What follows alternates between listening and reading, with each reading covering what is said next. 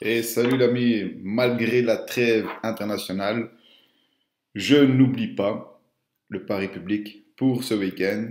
Alors moi, perso, euh, moi personnellement et dans mon club privé, pour ce week-end, j'ai sélectionné uniquement deux paris pré-match au Japon dans la deuxième ligue.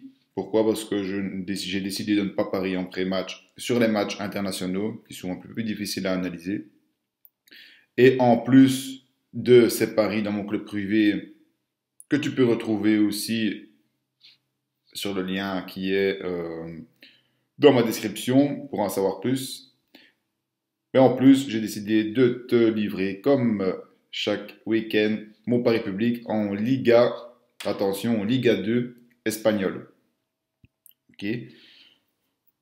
Dans le match Amo Rebieta contre Lugo ce dimanche, 14 novembre à 14h.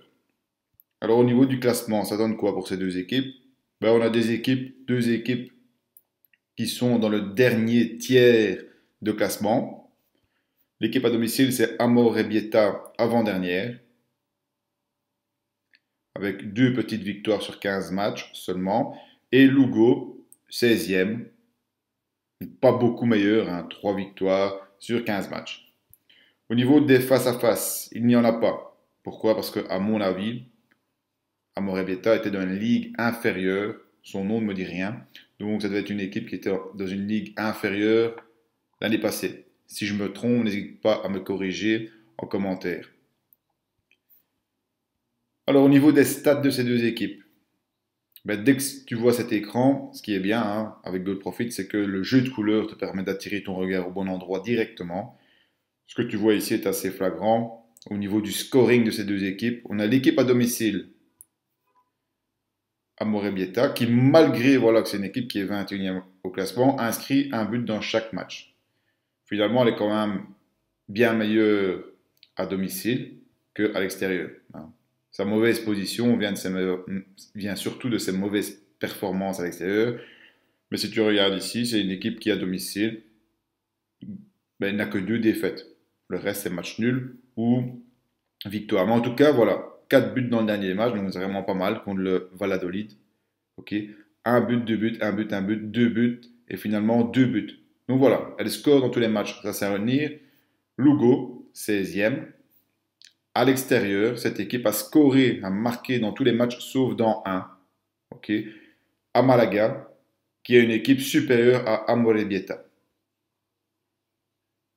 Donc j'ai assez confiance aussi au fait que Lugo inscrive son petit but contre A Amorebieta.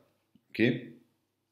Alors tu me vois venir, hein, pour ce type de pari, bien souvent tu peux aller soit sur les deux équipes marques, quand tu as ce genre de statistiques, ou sur l'over 2,5.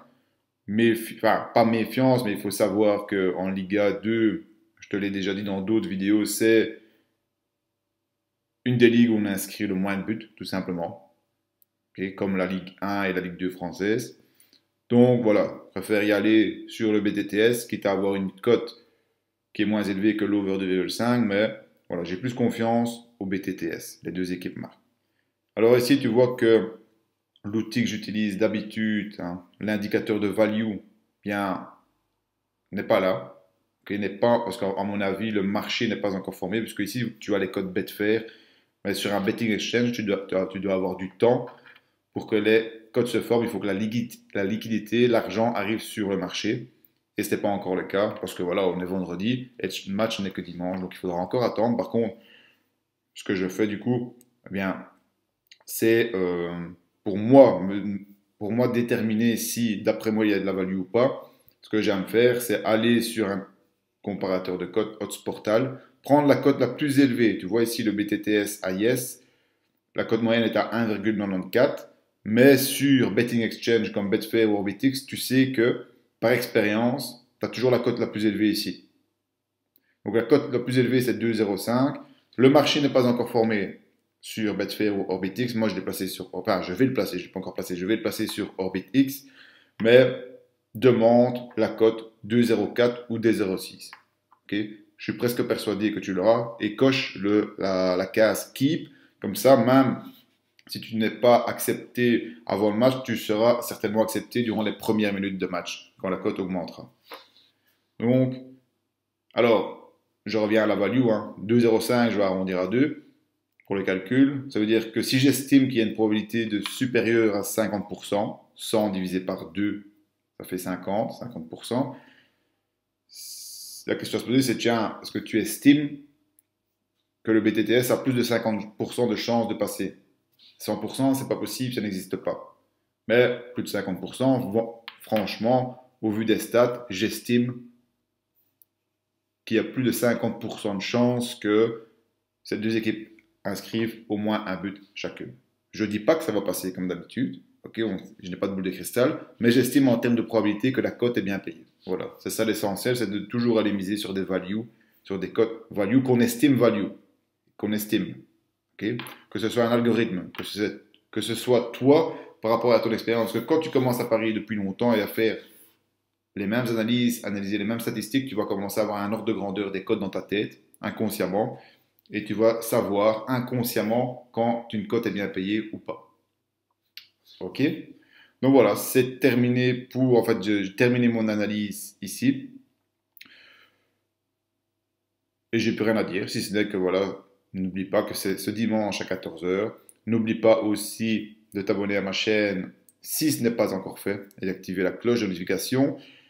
Et alors, si euh, tu veux en savoir plus sur mon club privé, je te laisse le lien dans la description de cette vidéo. Bon week-end à toi, bon pari, à bientôt.